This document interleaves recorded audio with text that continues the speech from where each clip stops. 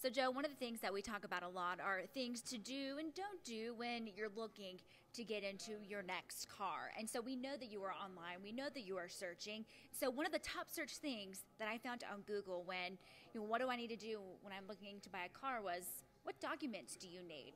I've never thought about that. What do you need to bring with you when you want to get a car? Well, we can start with the first of it is if you have a trade in. If you have a trade in and you're not financed with a national bank, you're financed with a like a local credit union or a local bank, you need to bring your payoff. A lot of people don't know what their payoff is. So you get here, and if it's a local bank or local credit union, it's after hours because everybody works. There's no way to know what that payoff is. So bring your payoff, current payoff, with you from your local bank or credit union.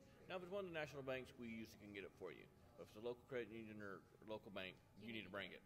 Um, and it also needs to be a 20 day payoff. It don't need to be, it's good for today because you are not going to be able to pay it off that same day. So get a 20 day payoff. But some other documents that you need to bring, of course, is your driver's license, your insurance. It makes a difference. Uh, a lot of people in this area, for whatever reason, have a lot of a lot of them have just have IDs. It's very important we know up front if you have an ID or a driver's license. Can you buy a car with ID? Yes. Will every bank do it for you? No.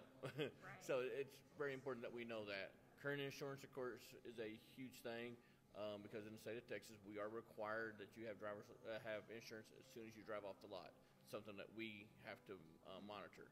Other things would be um, your current paycheck stubs um, to How show. How many? Well, great question. At this time of the year, you need to bring your last year's, your, the very end one that you had from last year, or your W two from last year and your current paycheck stub. The reason why is because banks will not will not count your overtime unless you have three months. Well, of course, we haven't been three months in this year yet. So, um, right now, you would have to bring your last your year-end one and your current one.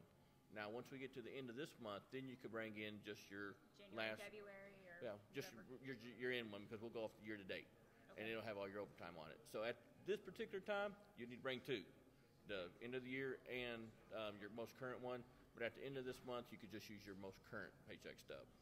So, what were to happen if somebody, you know, they, they bring in everything, but they forget the pay stub or they forget one of those documents? Got to come back. You're not going to get it. You're not going to leave. You're going to have to make more than one trip up here. Exactly. That's what I'm saying. Exactly, and we want to make it as easy as we can. So we don't want them to have to come back and forth. That's not what. Believe us, we, we don't like it as much as nobody else does. We don't want to make people wait. But unfortunately, with the banks the way they are right now, they hold us accountable for it. So if you don't bring it and we don't collect it, we're on the hook for it. And so another good one is says proof of residence. Okay. Sometimes you got to prove where you live. I know yeah. a lot of people move around a lot. Unfortunately, sometimes if it isn't on your credit bureau, you're going to have to prove that. Okay. The easiest way is with a current a utility bill, like electric, water, or phone bill. If you don't have one of them, there are different ways to do it, but the best way is with one of a a, a utility like that. So you need to bring proof of residence.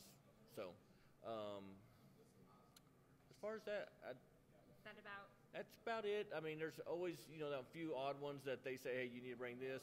Um, if you are like we go back to the proof of income with your check paycheck stubs, if you get money from Social Security, if you get money from the government, mm-hmm. um, we need you to bring your award letter with you. Um, that way, it shows that how long you're going to be getting that amount of money. Child support, same thing.